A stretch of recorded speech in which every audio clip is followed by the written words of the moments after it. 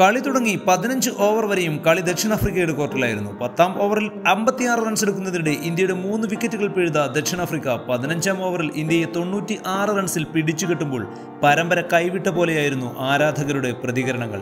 എന്നാൽ പതിനാലാം ഓവറിൽ ക്രീസിൽ വന്ന് അവസാന ഓവറിൽ മടങ്ങുന്നതിനിടെ ഐ പി എൽ പതിനഞ്ചാം സീസണിൽ ഫിനിഷിങ്ങുകൾ കൊണ്ട് അത്ഭുതപ്പെടുത്തിയ ദിനേശ് കാർത്തിക് ഐ പി എല്ലിനെ വെല്ലുന്ന ഒരു പ്രകടനം നടത്തിയപ്പോൾ അവസാന അഞ്ച് ഓവറിൽ എഴുപത്തിമൂന്ന് റൺസ് അടിച്ചുകൂട്ടിയ ഇന്ത്യ നൂറ്റി റൺസ് എന്ന ലക്ഷ്യം വെച്ച് നീട്ടുമ്പോൾ പ്രതിരോധിക്കാൻ പറ്റുന്ന ഒരു സ്കോർ തന്നെയായിരുന്നു അത്. വെൽക്കം ടു സ്പോർട്സിൽ കൂടുതൽ വ്യത്യസ്തമായ സ്പോർട്സ് വാർത്തകൾക്കായി ഈ ചാനൽ സബ്സ്ക്രൈബ് ചെയ്യാൻ മറക്കില്ലല്ലോ. രാജ്കോട്ടിൽ ദക്ഷിണാഫ്രിക്കക്കെതിരെ മോശം റെക്കോർഡുള്ള ഇന്ത്യയെ കൈപിടിച്ചുയർത്തിയ ദിനേശ് കാർത്തിക് തന്റെ പതിനഞ്ച് വർഷം നീണ്ട കരിയറിലെ ആദ്യ ഇന്റർനാഷണൽ ടി ട്വന്റി അർദ്ധശതകം നേടുമ്പോൾ കാലത്തെ അതിജീവിക്കുന്ന പോരാളിയാകുകയായിരുന്നു.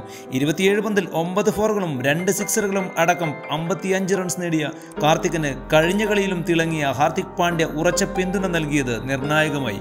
ഇരുവരും ചേർന്ന് മുപ്പത്തിമൂന്ന് പന്തിൽ നേടിയ അറുപത്തിയഞ്ച് റൺസ് അവസാന പത്ത് ഓവറിൽ മാത്രം ഇന്ത്യയ്ക്ക് നൂറ്റി പതിമൂന്ന് റൺസ് അടിച്ചുകൂട്ടാൻ സഹായിച്ചു. മുപ്പത്തൊന്ന് പന്തിൽ മൂന്ന് സിക്സറുകൾ സഹിതം നാൽപ്പത്തിയാറ് റൺസ് നേടി പുറത്താകാതെ നിന്ന ഹാർദിക് പാണ്ഡ്യ കാണിക്കുന്ന ഉത്തരവാദിത്ത ബോധം തീർച്ചയായും ടി ട്വന്റി ലോകകപ്പിനൊരുങ്ങുന്ന ഇന്ത്യയ്ക്ക് ആശ്വാസമാകും. ശ്രേയസ് അയ്യരും ഋതുരാജ് ഗെയ്ക്വാദും നായകൻ ഋഷഭ് പന്തും നിരാശപ്പെടുത്തുമ്പോൾ സ്ട്രൈക്ക് റൊട്ടേറ്റ് ചെയ്യാതെ കളിക്കുന്ന ഇഷൻ കിഷനും പ്രതിരോധ ബാറ്റിംഗ് ആണ് കാഴ്ചവെച്ചത്.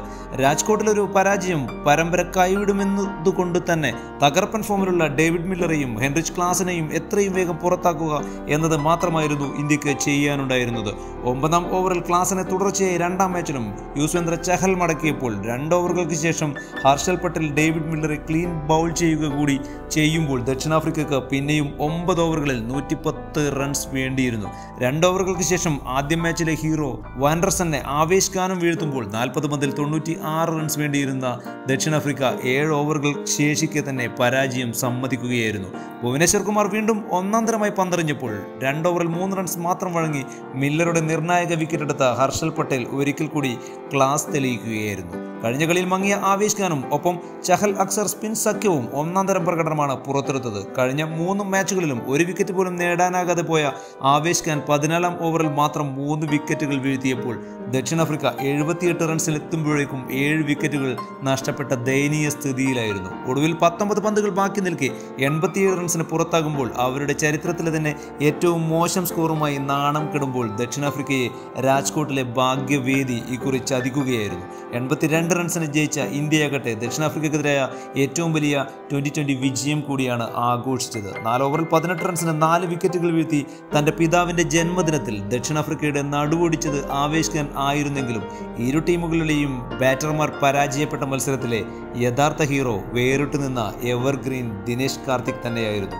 ആദ്യ രണ്ട് മാച്ചിലെ പരാജയത്തിന് ശേഷം ശക്തമായി തിരിച്ചുവന്ന ഇന്ത്യ ദക്ഷിണാഫ്രിക്കയെ തുടർന്നുള്ള രണ്ട് കളികളിലും ഇരുപത് ഓവറുകൾ തികച്ചും ബാറ്റ് ചെയ്യാൻ അനുവദിക്കാതെ തകർത്തപ്പോൾ സമനിലയിലായ പരമ്പരയുടെ അന്തിമ വിധിക്കായി ബാംഗ്ലൂരിലേക്ക് വണ്ടി കയറുമ്പോൾ ഒരു ഫൈനലിന്റെ ആവേശമാണ് സീരീസിന് കൈവന്നിരിക്കുന്നത്.